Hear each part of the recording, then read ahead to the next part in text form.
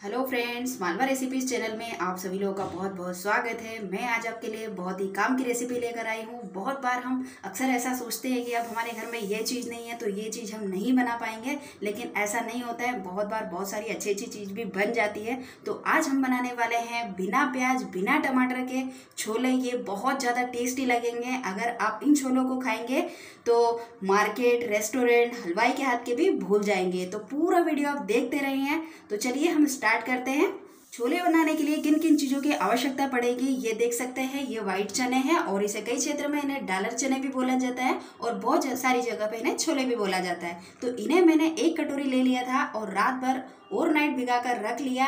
इन छोलों को मैंने धो लिया है चने को और ये हमने इस तरीके से बाउल में निकाल लिया है। ये एक कटोरी लिया है, हमने आधी कटोरी मूंगफली के दाने लिए हैं, छोटी आधी कटोरी हमने ली है लहसुन। अगर आप लहसुन नहीं खाते तो इन्हें भी आप स्किप कर सकते हैं। यहाँ पे हमने कुछ मसाले लिए हैं, जैसे ये देख सकते हैं, तेज पत्ता है, ये एक लिया है मैंने, और यहाँ पे दो मैंने सूखे आंवले ले लिए हैं। ये जो हम सुखा कर रखते हैं, ये ले लिया है, और यहाँ पे सबसे इम्पोर्टेंट है, आधी चुटकी मैंने मीठा सोडा, जो कि खाने वाला सोडा बोला जाता है, वो लिया है। एक चम्मच नमक है, एक इंच दालचीनी का टुकड़ा है, दो हमने हरी इलायची ली है, पाँच हमने काली मिर्च ली है आधा मैंने स्टार फूल ले लिया है, जो गरम खड़े मसाले में होता है, और यहाँ पे चार लिए हैं लौंग। तो ये हो गए हमारे खड़े मसाले, और सबसे इम्पोर्टेंट है इसमें दही। तो दही मैंने होममेड दही लिया है, बहुत ही अच्छा जमा हुआ है हमारा दही। ये मैंने ले लिया है आधी कटोरी। कुकिंग ऑयल लिया है कुकिंग ऑयल जो भी आप खाते हैं, सरसों का ऑयल या जो भी ऑयल खाते हैं, ये मैंने आधी कटोरी ले लिया है। और यहाँ पे लाल मिर्च का पाउडर है, मैंने एक चम्मच लिया है, आधी चम्मच हल्दी पाउडर एक चम्मच धनिया पाउडर आधी चम्मच गरम मसाला, आधी चम्मच भुना हुआ जीरा है और यहाँ पे मैंने कुछ तड़के के लिए लिए हुए सामान, दो खड़ी मिर्चें हैं। आधी चम्मच राई है और आधी चम्मच जीरा है और तड़के के लिए हमने एक तेज पत्ता ले लिया है। तो ये तो हो गई हमारी सामग्री, अब हम स्टार्ट करते हैं बनाना। सबसे पहले हमने एक कुकर ले लिया है, यहाँ पे ये चने जो है, छोले, इन्हें हम डाल देंगे। और इसमें ये जो हमारे खड़े मसाले हैं, इन सारी चीज़ों को हम एक साथ डाल देते हैं।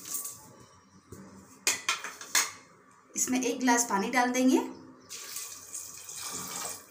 और छोले को उबलने के लिए रख देते हैं। छोले को हमने उबलने के लिए रख दिए हैं। इसे फुल फ्लेम पे एक सीटी आते तक रखेंगे इसकी जो फ्लेम है और फिर हम इसको लो फ्लेम पे रखेंगे। चार सीटी आते तक इसे हम पकने देंगे। तो हमने इसमें फुल फ्लेम पे एक सीटी लगाई, उसके बाद चार सीटी लगाई लो फ्लेम पे और इसकी जो भाप है वो निकल चुकी है, तभी हमें इसे खोलना है। ये देख सकते हैं। देखिए, चने जो है, बहुत ही अच्छा इसका कलर आया है और ये कलर आया है आंवले की वजह से। ये देखिए तो इतने चने में दो आंवले के पीस बहुत होते हैं इनफ होते हैं। तो इससे ज़्यादा ना डालें आप। और यहाँ से ये जो हमने खड़े मसाले इसमें डाले हैं, ये सारे हम निकाल लेते हैं। हमने आंवले भी निकाल लिए, दालचीनी निकाल लिया तेज पत्ता निकाल लिया और बाकी जो लौंग वगैरह भी हमने डाले हैं, इन्हें भी हम निकाल लेंगे। तो देखिए, हमने ये सारी चीज़ें निकाल ली है और यहाँ पे दिखा दूँ कि ये जो चने हैं, बहुत ही अच्छे से कुक हो चुके हैं। ये देखिए, बहुत ही इजीली दब रहे हैं मतलब चने जो है, बहुत ही अच्छे से पक चुके हैं। तो चलिए इसे फ्राई करने की तैयारी करते हैं। सबसे पहले मैंने पैन को गरम रख दिया है और यहाँ पे इसमें डालेंगे ऑयल ऑयल हमारा गरम हो गया है, इसमें डालेंगे तेज पत्ता दो खड़ी मिर्चें और राई और जीरा। राई, जीरा चटकने के बाद हम लहसुन डालेंगे।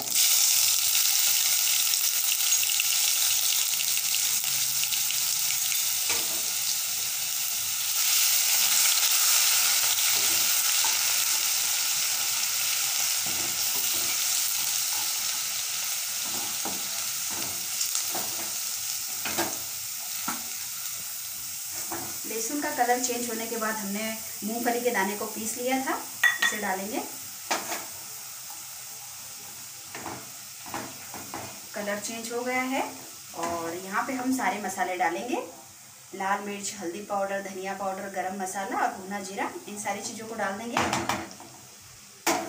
नमक हमने पकाने के लिए, जब उबालने के लिए रखे थे, तब हमने डाल दिया था तो नमक हमें यहाँ पे नहीं डालना है, ज़्यादा हो जाएगा। एक चम्मच हमने डाला था और यहाँ पे हम डालेंगे दही।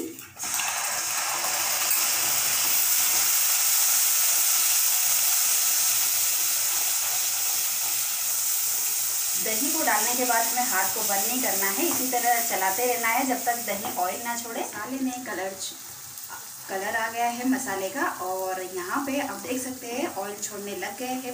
हमारा जो मसाला है पेन से तो यहाँ पे अब हम हमारे जो चने हैं, उबले हुए, इन्हें हम डालेंगे। और इसे हम पकने देंगे आठ से दस मिनट तक। तो ये जो मसाले हैं, ये इसके अंदर अच्छे से ऑब्ज़र्व हो जाए, तब तक हम इसे पकाएँगे। मैंने इसे लो फ्लेम पे आठ मिनट तक पकाया है, और आप देख सकते हैं, ये बहुत ही अच्छा इसका लुक आया है, खुशबू बहुत ही अच्छी आ रही है। और आप अगर थोड़ा पतला पसंद करते हैं, थोड़ा ग्रेवी इसकी पतली पसंद करते हैं तो थोड़ा पानी आप इसमें और ऐड कर दें।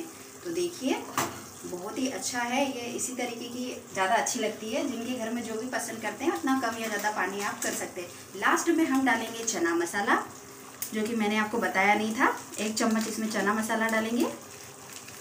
ये लास्ट में डालेंगे तो इसकी खुशबू बहुत ही अच्छी आती है। एक चम्मच हमें इसमें डालना है।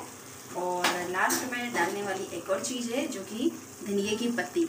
ये हम इसमें डाल रहे हैं। ये इसको कर देंगे बस तो फाइनली हमारे छोले बनकर तैयार हो गए हैं। बिना टमाटर, बिना प्याज के भी छोले बहुत ही अच्छे बने हैं। आप इन्हें पूड़ी के साथ, पराठे के साथ, जब भी आपका कुछ अच्छा खाने का मन करता है, जब आप इस रेसिपी को ट्राई कर सकते हैं और कमेंट करके बताएँ आपको ये रेसिपी कैसी लगी है। लाइक कर दें शेयर कर दें चैनल पे। अगर आप नए हैं तो चैनल को सब्सक्राइब करना बिल्कुल ना भूलें। मिलते हैं फ्रेंड्स एक नई रेसिपी इसके साथ। Happy cooking